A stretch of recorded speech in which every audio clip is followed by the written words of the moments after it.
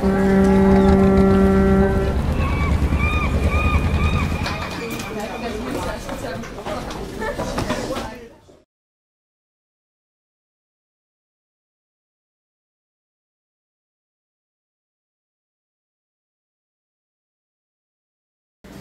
also, he conducted postgraduate research at the University of Michigan in Germany, Uh, and he offered courses on comparative politics, uh, international relations, uh, Middle East and East Asia uh, political systems uh, at the University of Utah, Mississippi State University, Michigan State University, and Lake Forest College. Uh, please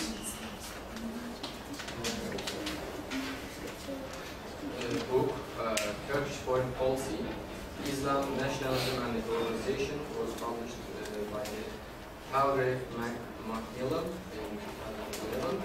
Uh, also, uh, he has uh, many articles uh, published in various journals like uh, Insight Turkey, World Affairs, Middle East Politics, Mediterranean Quarter. Uh, now he's going to uh, give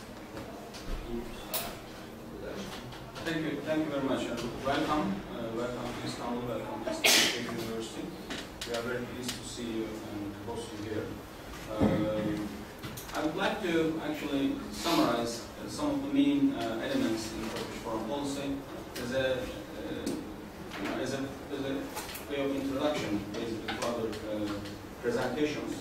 Uh, and this will be a very short, hopefully. Um, I don't know uh, your background actually in terms of coursework in, in international relations and in Turkey particularly, but I will assume a uh, you know basic uh, uh, knowledge, you know, in this. Uh, Turkey, and I mean any kind of foreign policy, including Turkish foreign policy, is a function of two contexts uh, or two, two a function of factors located in two contexts. The first context is the material context, and the second context is the ideational context. So in the material context, we have elements which are uh, geographic, economic, political, uh, population, size of the country, etc. As factors that influence that country's foreign policy. For example, in the United States, the fact that the country is uh, is sandwiched by two oceans. You know, so uh, it has shores in two vast oceans. Requires the United States a certain kind of foreign policy. I mean, requires the United States to adopt a certain kind of foreign policy. And the fact that it has two soft neighbors uh, also is an important factor in American foreign policy. Um, in contrast, uh, for example, Turkey is not neighbored by soft neighbors. It's neighbored by uh, powerful neighbors, uh, especially when we look at the historical context of this. Uh, the first, I mean, also historical context, including Turkey, Republic of Turkey, and also beyond the Republic of Turkey, the Ottoman Empire, especially the last 100 years of the Ottoman Empire. Turkey was neighbored by two important, uh, powerful countries. One of these is Russia and later the Soviet Union. and today uh, we don't have direct neighborhood in that sense, but we have uh, also, we are neighboring the Russian sphere of influence okay, in the area. And the other country is Iran. And today uh, Iran is our strongest and most uh, powerful neighbor in that sense. But of course, uh, again, the Russian sphere of influence continues. Um, and on the other side, we have a neighborhood, a problematic neighborhood of with Greece. Uh, so the geography then requires a certain kind of foreign policy, adaptation of certain kind of foreign policy. Um, basically, for example, let's say in the, in the context of the Cold War, the fact that Turkey was a neighboring country, a NATO member, but neighboring country with the Soviet Union, required Turkey to have good relationship with the West. And you also have I mean, this was actually a continuation of the Ottoman foreign policy of balancing against Russia with alliances or alliance formations with European powers. And with the demise of European powers and the emergence of the United States, so Turkish-American alliance was built upon the foundation of geography and ideological competition. So um, this wasn't a kind of imposition on Turkey that Turkey had to follow a pro-American foreign policy, but rather the geographic necessities. So if you want to, for example, uh, compare that with Azerbaijan, I think a similar kind of dilemma, neighborhood problems, you know, of Azerbaijan, and the, the fact that Azerbaijan uh, finds itself in that neighborhood requires a certain kind of foreign policy for Azerbaijan. I understand and sympathize with that. Um, but uh, what are the other I mean, uh, factors located in the material uh, you know, context? Another factor is economic. You know, the country it does not have solid resources. Resource base of Turkey is quite weak.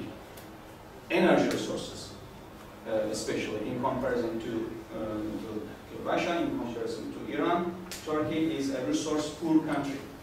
That requires Turkey to be a trading nation. And, you know, maybe a, a good comparison here will be Japan and, or South Korea. Uh, you know, being poor in resources, you need to export so that you can import those energy resources. And uh, as, a, as a trading nation, Turkish foreign policy needs to diversify itself, especially uh, after the Cold War. We see this diversification of foreign, uh, Turkish foreign policy in many different areas. Right? So, um, the Arab world is an important, of course, source for Turkey to import those energy resources, as well as to export uh, goods. Europe, uh, Europe was, was always an important source uh, for uh, uh, for Turkish export and imports.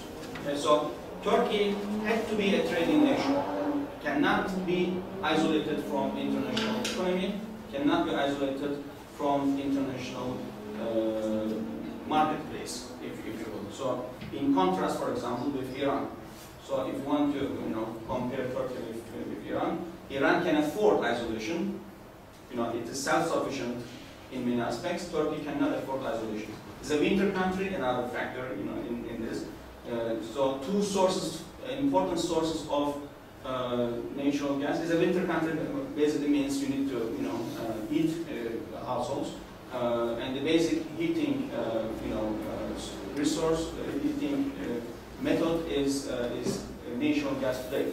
In the last 10 years, under the present government, the number of Turkish cities with centralized uh, natural gas distribution has increased from uh, 2 or 3 to 68 today.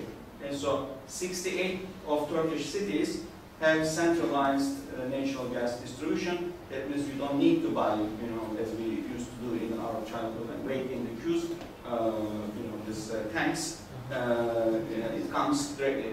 But it comes at a cost. At a cost not only for household, but at a cost for foreign policy as well, because it's all imports. Import, uh, uh, imported resource. 68% of Turkish natural gas import come from Russia. About 25% come from Iran. So two of the uh, contenders for regional influence for Turkey also happen to be the source of natural gas. Okay?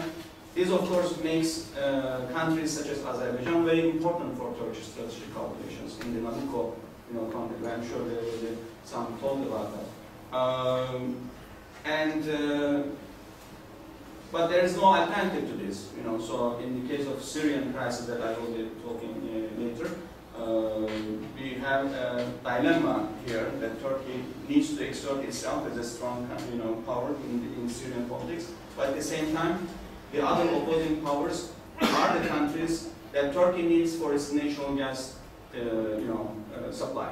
Okay, so uh, all of these material context and the population boom in Turkey Turkish population has increased rapidly. In 1920, when the republic was established, Turkish population in the entire country was only 12 million people.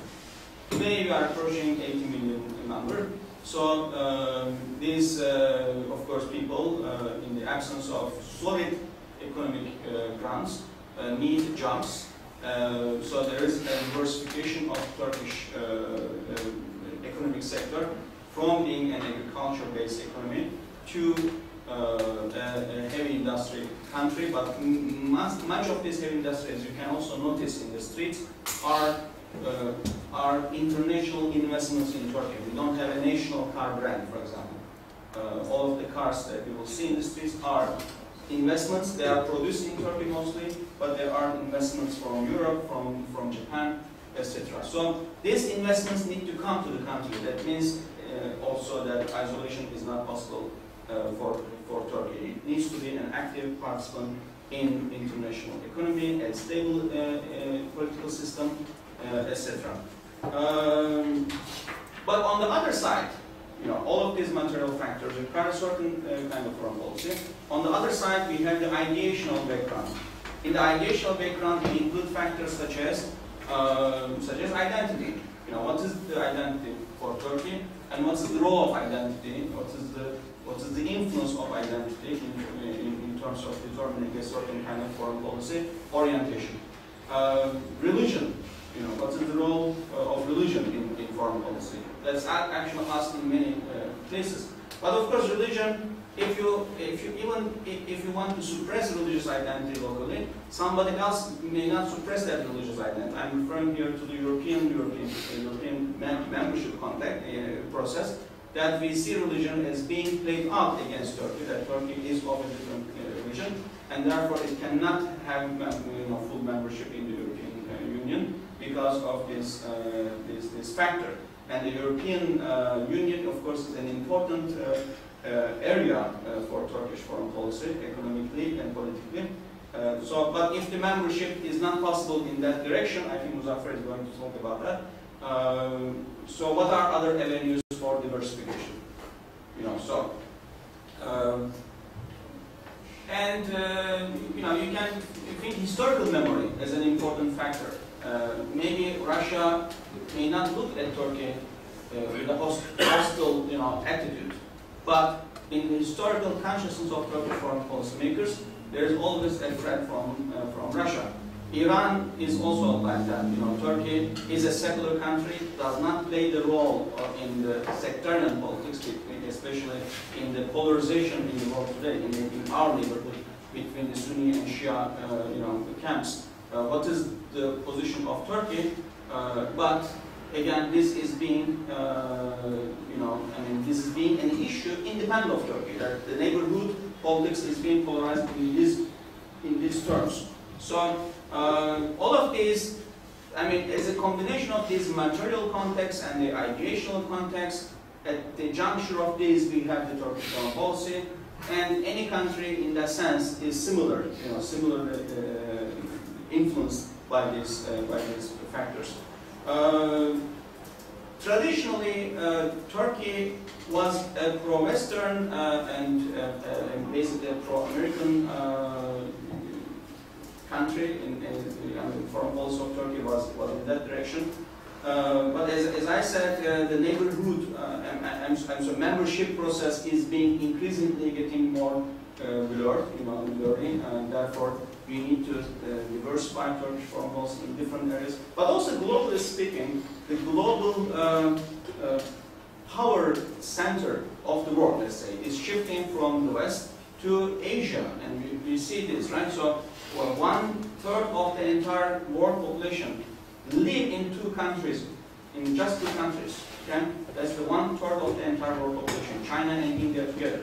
China will be number one economy in the world uh, followed by the United States, but followed by India rather than Europe. Okay? So we have this shift to, uh, if you will, this Pacific Asia, you know, from uh, that will include the United States, but the United States of that time, let's say, if you want to project this like, for the next uh, perhaps 30 years, in the next 30 years of the United States will be a much different country from now. And uh, today the United States happens to have a president who won elections without the majority white uh, you know, vote base. So this is what I'm saying, an increasing diversification of US population. Okay? Perhaps Latin, uh, Latinization of the United States, Spanish uh, United States, basically. is becoming a reality of, uh, for, for Turkey to consider, and that also means Turkish foreign, another area for Turkish foreign policy is Latin America, okay, so Brazil. Brazil uh, emerged as a basic partner for Turkey in many of uh, occasions, including Iran nuclear deal. Uh, Africa is another uh, area for Turkey to, uh, to seek uh, you know, influence and to, to diversify its interests.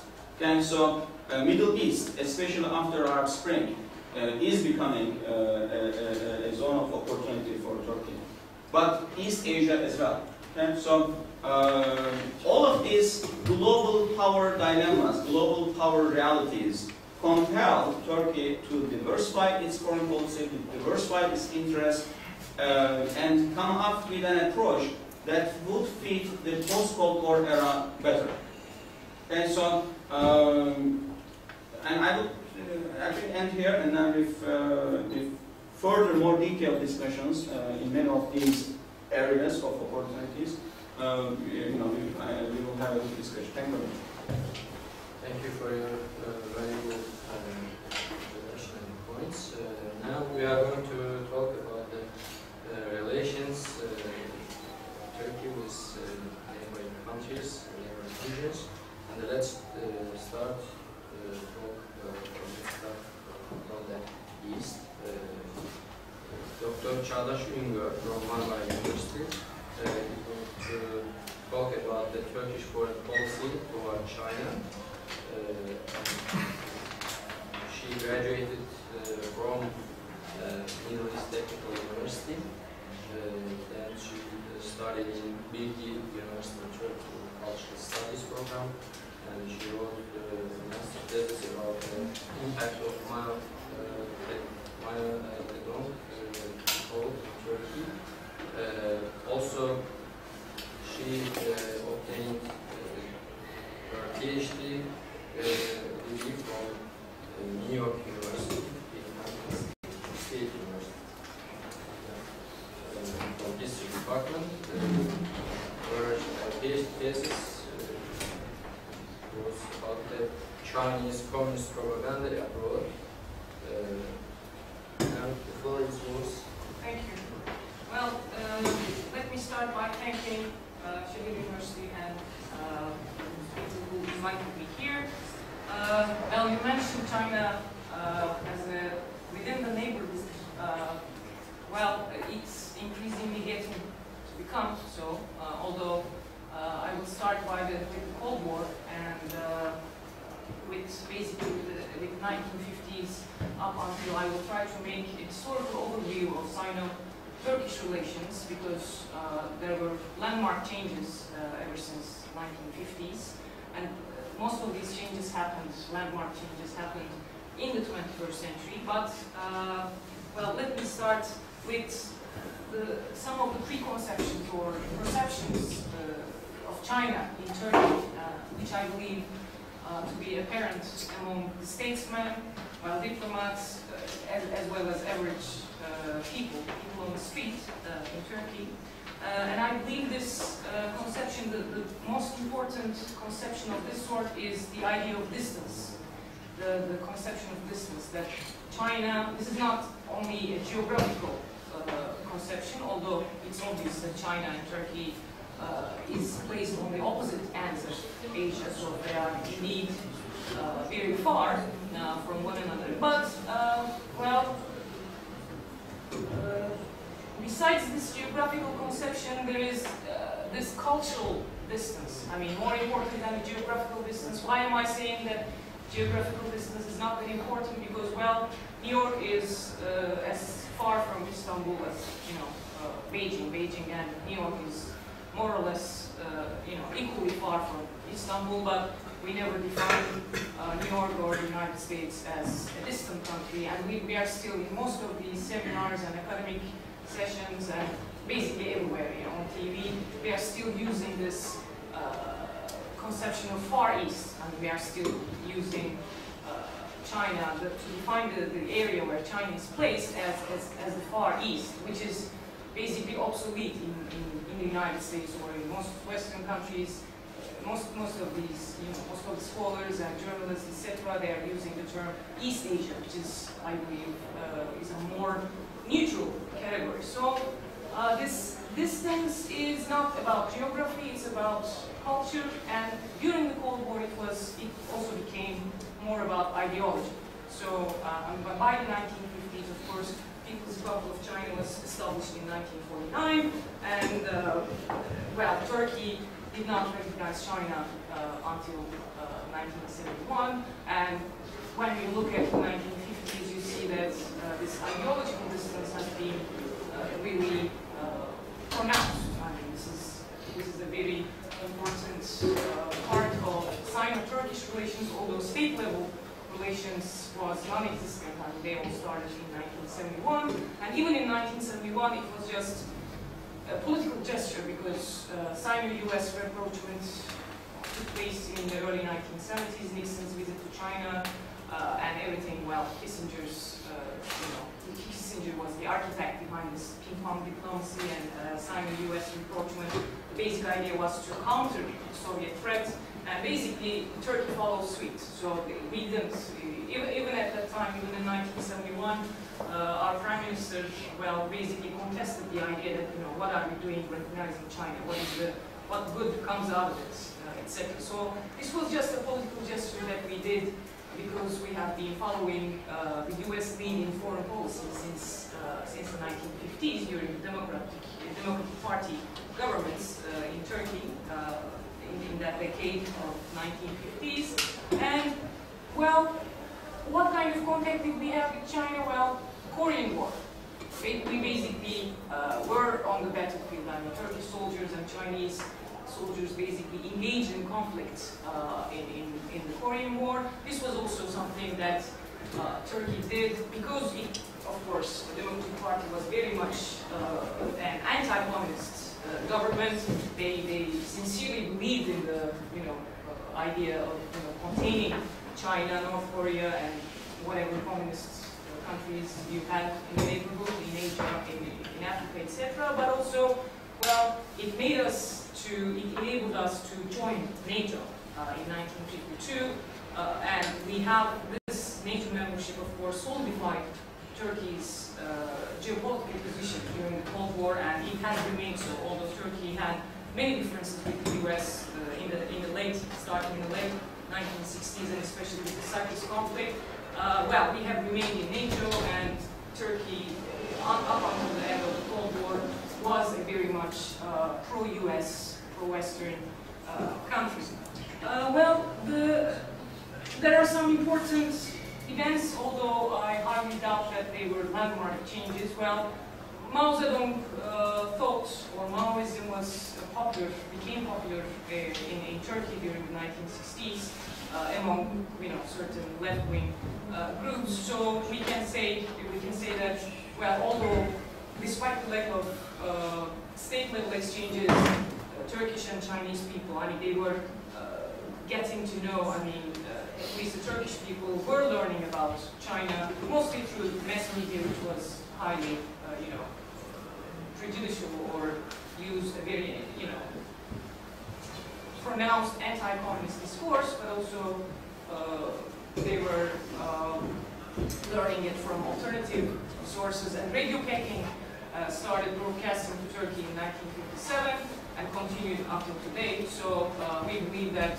uh, some people were hearing about China through their direct uh, broadcasts. But mostly, uh, even after the recognition of China in 1971, nothing happened. 1970s are mostly lost years in terms of Chinese-Turkish relations, uh, in terms of state-level exchanges or other types of you know, economic exchanges, etc. So uh, nothing much happened up until the 1980s. Well, what happened in the 1980s? Well, both, although China and Turkey, of course, had totally different regimes and they were coming from totally different cultural and ideological backgrounds. Well, we see that similar changes have happened in, in Turkey and China.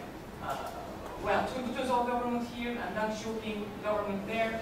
Uh, privatization became important, export-oriented growth became important. We can, we can safely say that you know, both Turkey and China went through enormous changes uh, during this period. Although Turkey has been a capitalist country, I mean, average people, public at large, uh, did not really experience those changes up until the 1980s. Uh, there were so many progressive changes in this uh, period, and this export-oriented growth and uh, you know basically trade becoming uh, so much more important in both Turkey and China.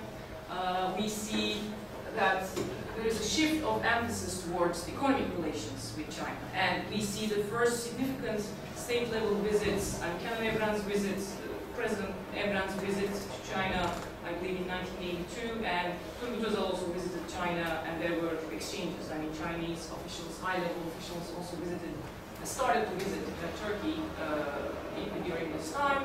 And when we come to the 1990s, uh, we see mostly because of the you know Chinese opening up reforms. Uh, they paid off in China, and China increasingly became uh, well a, a major trading uh, country uh, during the 1990s, and Turkish-Chinese relations basically ever since the 1990s have been uh, increasingly focused on. I mean, the, the economic dynamics became so much important in terms of shaping the rest of the relationship. I mean, state level exchanges basically were motivated, even today, they are basically motivated by private sector initiatives because uh, we are consuming so many uh, Chinese products, because we are buying so much from, from China.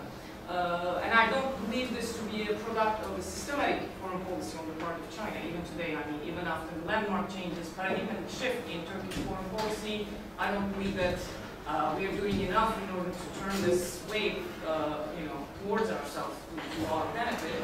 And I'll come to that later. But uh, in the 1990s, basically, economic relations, trade, bilateral trade picks up. And there's one, of course, in the political sense, there's a um, there's a drawback in, in Chinese-Turkish relations, which became much more important during the 1990s. Uh, the Uyghur people, uh, the Muslim Turks, Turkic people uh, living in the autonomous Xinjiang province, they, uh, well, ever since the 1950s, they have been immigrating to Turkey because of the, you know, several kinds of, you know, discrimination or repressions they were uh, suffering in, in China. Well, they, they have been here. They have been coming here ever since the 1950s. But in the 1990s, you see uh, this, you know, separatist movement in, in the Xinjiang province uh, going a little bit violent. And uh, well, there are certain organizations built, and there are some violent skirmishes in China uh, during this period. So China is growing increasingly anxious about the Turkish support for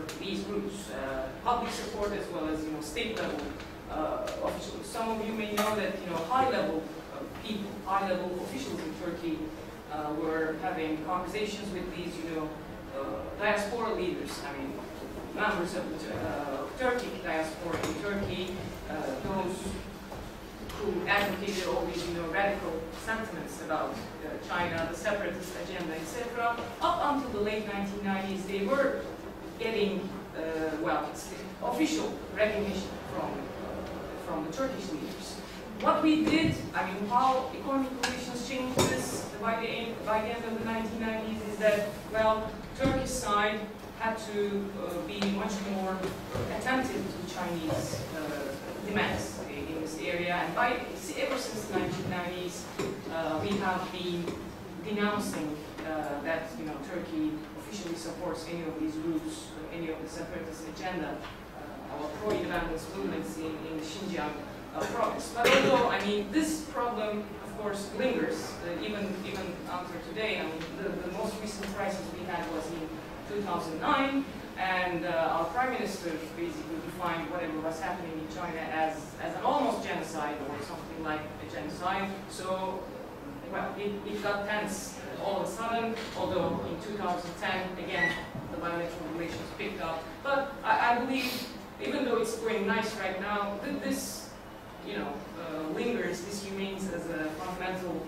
problem area between Turkey and uh, China, and it is because uh, the, the public opinion in this sense is basically um, determined or very much influenced by the Uyghur diaspora in Turkey. And we don't have so many China experts, and we don't have people speaking Chinese, traveling to Chinese. We have, of course, businessmen, but we don't have so many scholars. We don't have so many journalists. We don't have people residing in China to go and observe these events. So we're either getting everything from uh, Western uh, news sources or, uh, you know, in, in, in, this huge gray area that, you know, Turkish statesmen uh, or Turkish people at large are, you know, not able to grasp whatever is going on in China. Well, the Uyghur diaspora takes the lead and then uh, they're on TV and they're telling us whatever is happening and in China. And obviously, they have a rather biased opinion. I'm not saying that human, there's no human rights issues in Xinjiang province, but the ideas that we're hearing on TV,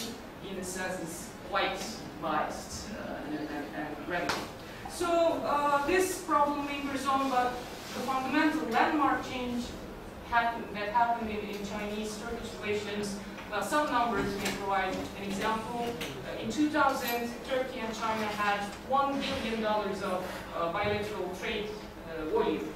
And today, as of today, we have $24 billion of US uh, dollars of trade volume. So this is a very, of course, uh, this is not a gradual change, this is a landmark event, I, I believe. And the, the main, main problem here, I mean, this is mostly when we're talking about Turkish foreign policy regarding East Asia and we're talking about Turkish foreign policy towards China, we are basically, I mean, most of these optimistic scholars pick on, for instance, the increasing level of state exchanges, state-level exchanges, and also the growing bilateral trade volume. But the fact is that we are basically selling one to China and we are buying nine. So it's nine times, and they're selling us more, like nine times more than we sell them. And this has, this did not change against government policy. Ever since the late 1990s, Turkish governments have been fighting this you know, trade deficit, but they were not able to, uh, you know, counter it. We, we took some precautions in the in the in the mid, uh, you know, in, in 2004 and 2005. That was the Istanbul Declaration, together with you know American uh, American merchants and you know uh, from several other developing countries. Uh, we have instituted certain quotas, certain restrictions on Chinese products, but the overall trend was irreversible. Some of it is because of global changes, of course. I mean, China is basically, uh, in almost every country you have a trade deficit vis-a-vis -vis China. But some of it, I believe, is very much, uh, very much uh, determined by the fact that Chinese businessmen still see China as a distant land. And because we have this linguistic deficiency, because we have a certain cultural biases, ideological biases, whatever, uh, basically they are not able to, they have not been able to change anything or boost uh, the, the uh, trade relations on Turkey's behalf. I mean, change, reverse the, not, not reverse it, but maybe, well, 1 to 9 is a, is a rather big gap so you, you need to do something uh, about it. Uh, so basically, do I have time? Okay. Okay. So um, basically, there is this landmark. I mean, the increased state level exchanges, of course, they were uh, during the Justice and Development government. Uh, we have seen uh, increased contact with China, state level exchanges, high level visits. I can give many examples from Abdullah Gül's visit uh, in, in 2009 to, well, Tayyip Erdogan's most recent visit in 2012, but also the Chinese side are also, you know, paying much more attention to Turkey in a sense. Uh, so lots of treaties have been signed, and one, the most important perhaps is uh, the Strategic Partnership Treaty, which is signed in 2010, and this aims to bring the Chinese-Turkish relations to, to, to, the, to a level where you know, political cultural exchanges will be as much important as you know, economic relations. Because economic ties, they're already growing and, well, although Turkey is on the uh, losing side in, in, in, that, well, Chinese products are also, uh, let me emphasize this because this is not a totally negative picture. Chinese products are making poorer people much more, you know, uh, comfortable in terms of it, it increases their consumption uh, uh, level, and uh, it, it, basically has a positive influence on the inflation, overall inflation figures. So it's not all bad, but anyway, private sector is also already doing this. And what can the governments do?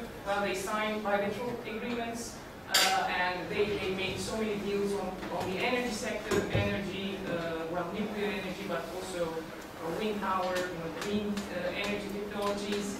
Uh, other than that, well, Turkish side has been very much attentive to the Chinese tourists, these Chinese middle middle income or middle class people.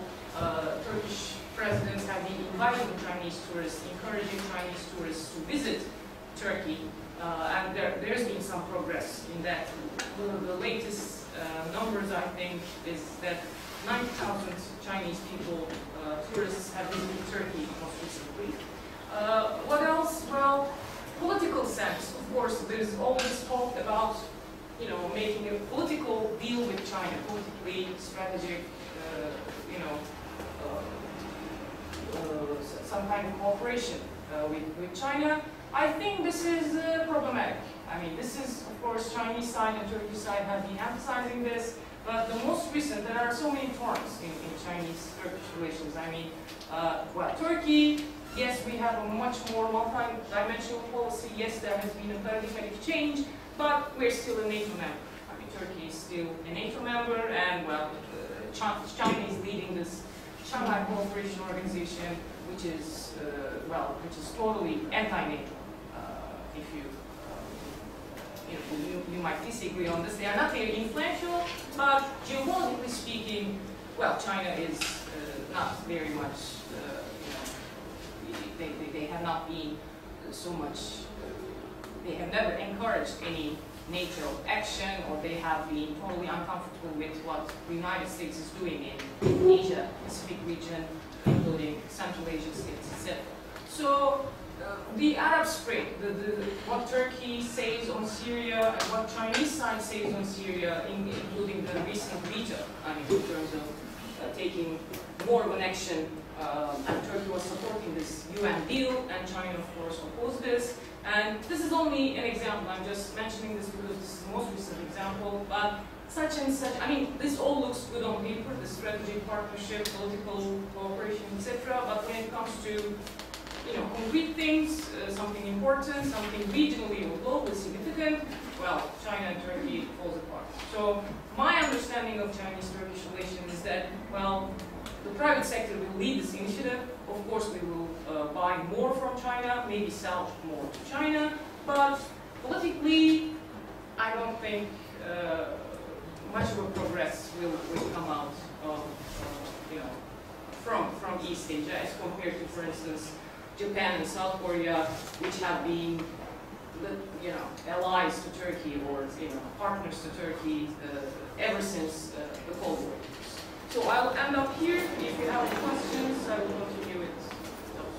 Thank you for your speech. Actually, after all uh, speech, uh, we have time for questions.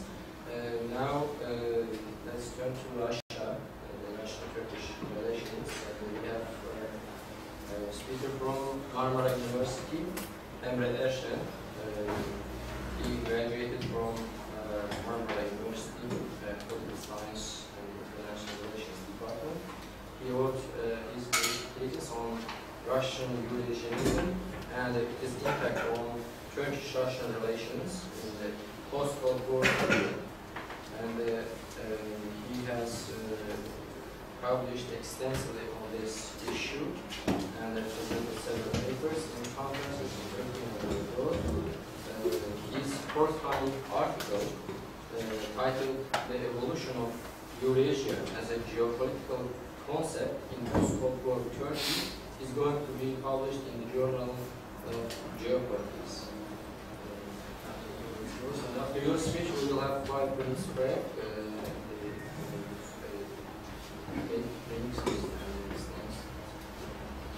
uh, thank you, and thank you organizers uh, once again uh, for giving us the opportunity to share our ideas and our vision about Turkish foreign policy today.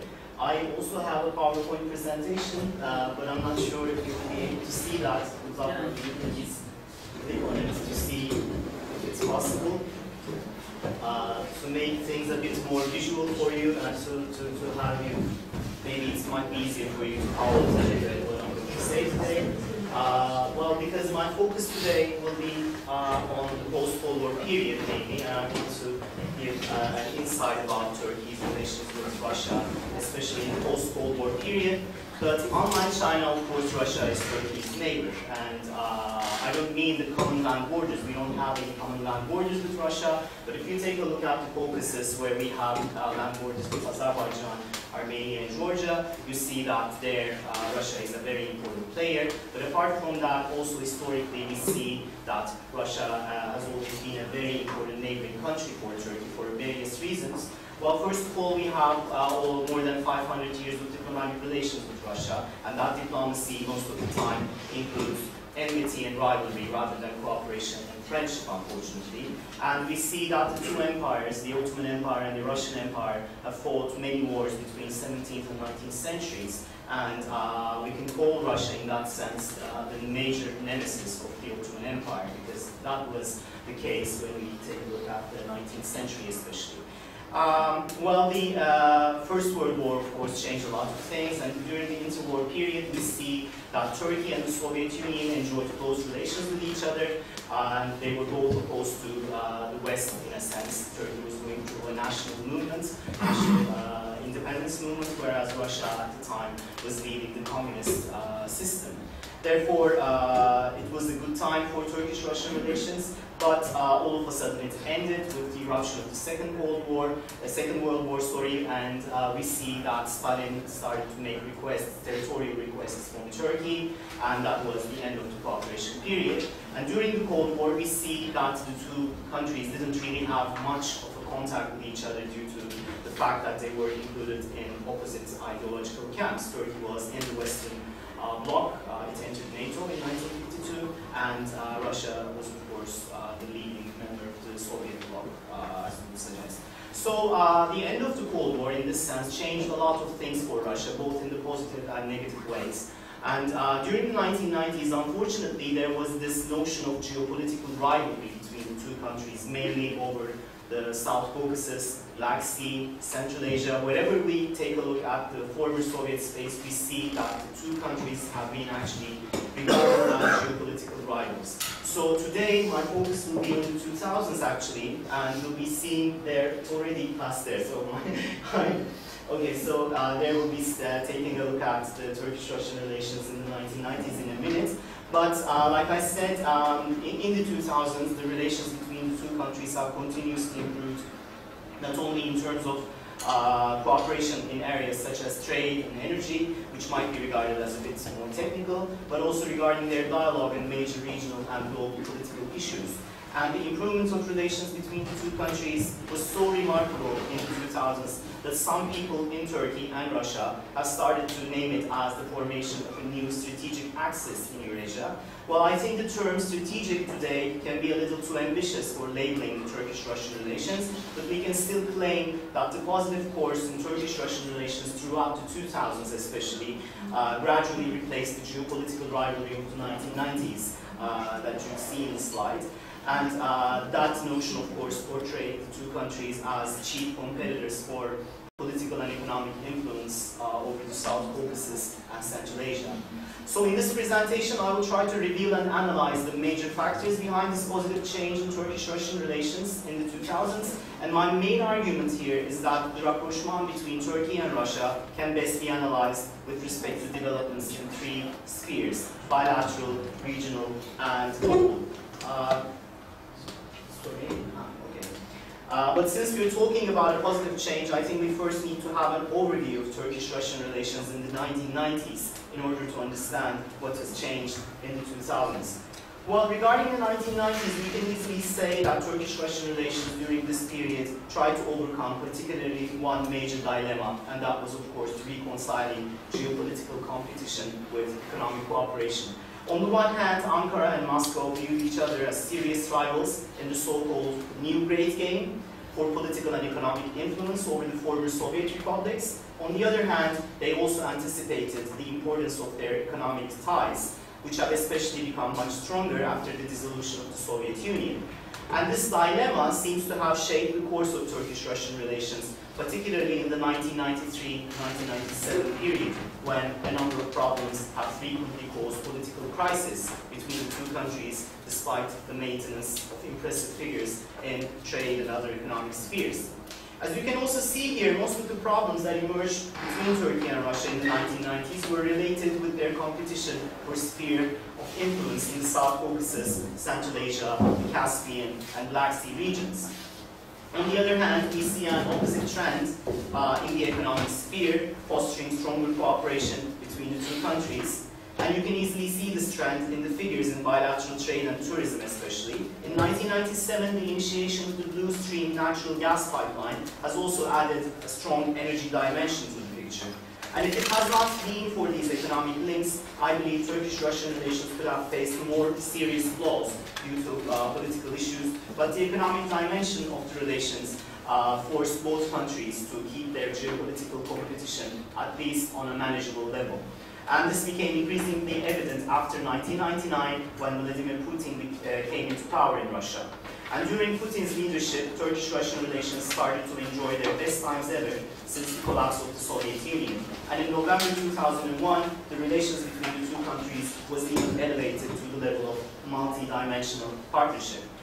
The emergence of such uh, an optimistic period in Turkish-Russian relations was of course based on pragmatism, and during this period the two countries seem to have pushed aside the problematic political issues and preferred to proceed with increasing cooperation in issues such as energy, trade, and other technical matters. And this can also be seen in the agenda of the high-level visits which took place between Turkey and Russia uh, in the beginning of 2000s. Well, although it is true that economic issues dominated the agenda of the Turkish-Russian relations, we should not also overlook the two countries' search for a new dialogue in their policies towards the South Caucasus and Central Asia either. And I believe this is this, it is this search that distinguishes the 2000s from 1990s. This was symbolized by new regional cooperation projects such as the Caucasus Stability Pact, Moscow-Ankara Central Asia Strategic Triangle, and BLACKSEAFOR. And most importantly, of course, the Action Plan for Cooperation in Eurasia, which institutionalized the regional political cooperation between Turkey and Russia in the post-September 11 period.